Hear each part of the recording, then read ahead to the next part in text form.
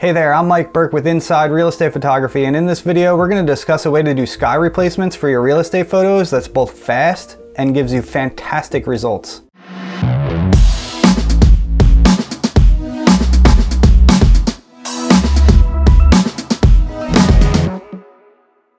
So up until recently I used Photoshop to do my sky replacements. It got the job done, but the results weren't always perfect and it was a bit of a process. In this tutorial, we're going to be using a software called Luminar 4, which has a feature called AI Sky Replacement that will replace the sky in nearly one click and yield almost perfect results. It'll blow your mind. All right, let's jump in. Okay, so here we are in Luminar 4. I'm just gonna hit the plus button up here so we can import some images. I have this couple images on my desktop here. Let's start with this image here. So as you see, uh, we have a gray, gloomy sky here. So we want to make it a nice, inviting blue sky. What we're going to do here is just go to the Edit tab, and if we go down to the Creative tab here, you'll see AI Sky Replacement. So we're just going to click on that. Watch what happens here. You're going to be floored.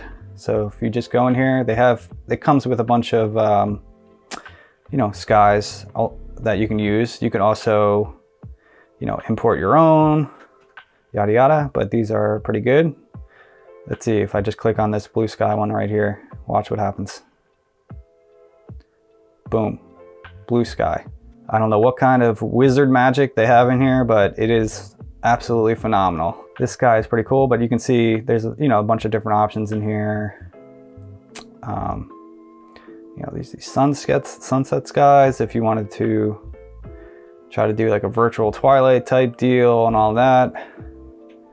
But we're not doing that for this, obviously. We just want a nice blue sky. This number two is pretty good. So the only thing we, uh, if you notice, is that, you know, we got a little bleed here with the sky mask. So all we have to do here is clean it up a little bit. So if you go down to edit mask,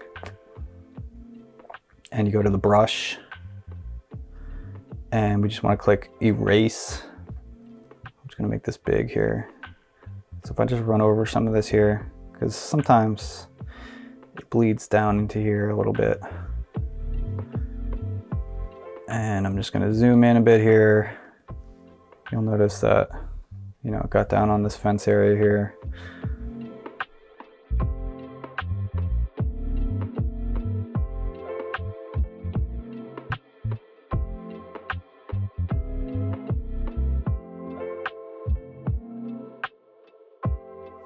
So if I just run over this here, clean this up a little bit.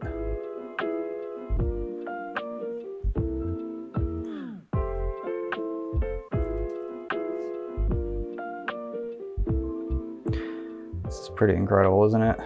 I mean, it used to take a decent amount of time to do this and with the software, it's incredibly fast and easy.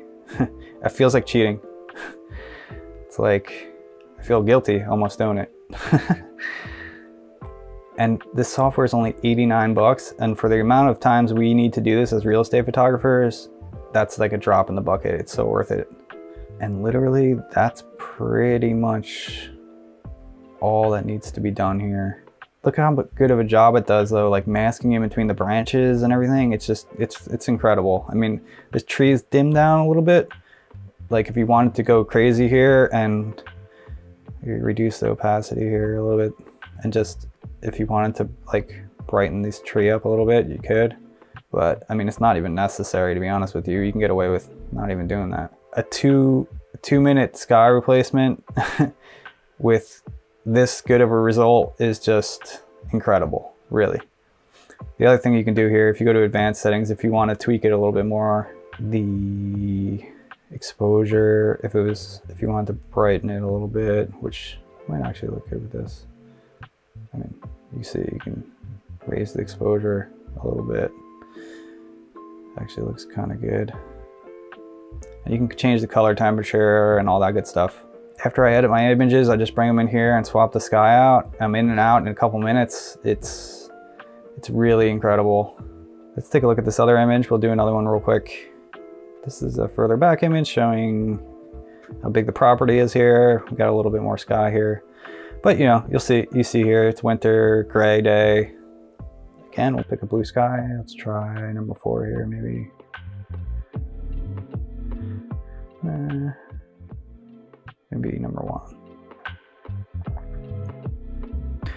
Hey, that's cool. Why not? You'll see it, it did, you know, get a lot of blue in here, but again, we'll just uh, take the edit mask tool, brush, make sure it's on erase. Just blow this up really big. Get all this foreground here in case got down here. But, you know, even cleaning this up takes no time at all, really, so it's not a big deal.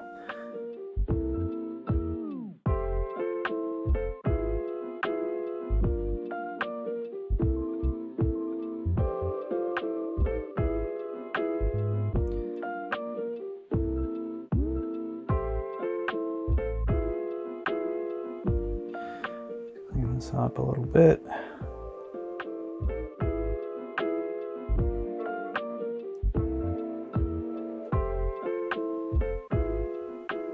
And that is pretty much good. I mean, like I said, you can get in here maybe brighten this area up a little bit. These trees.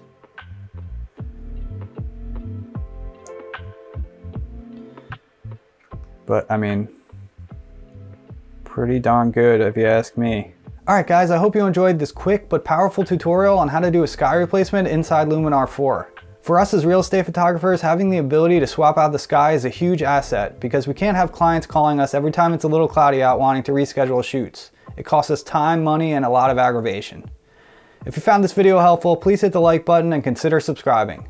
Thanks for watching.